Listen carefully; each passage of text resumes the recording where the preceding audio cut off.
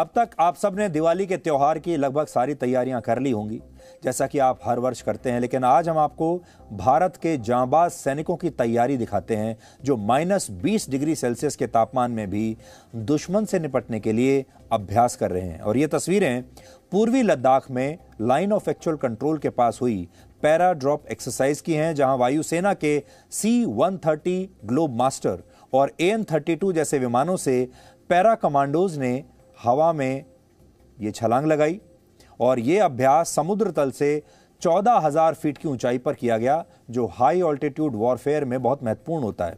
Note करने वाली बात इसमें यह भी है कि ये सभी जवान सेना की शत्रुजीत ब्रिगेड की पैरा रेजिमेंट का हिस्सा हैं, जिसने कारगिल युद्ध में एक बड़ी भूमिका निभाई थी। यानी चीन से गतिरोध के बीच भारतीय सेना एलएसी पर तैयारियों में कोई कमी नहीं छोड़ रही।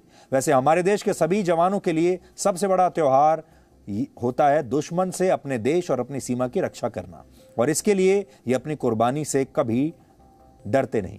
इसलिए आज जब पूरा देश दिवाली की तैयारियों में जुटा है, तब हमारे देश के जवान सीमा की सुरक्षा के लिए कैसे अपनी जान की बाजी लगा रहे हैं, अभ्यास में जुटे हुए हैं, आज आप इस शानदार वीडियो के ज़रिए देखिए।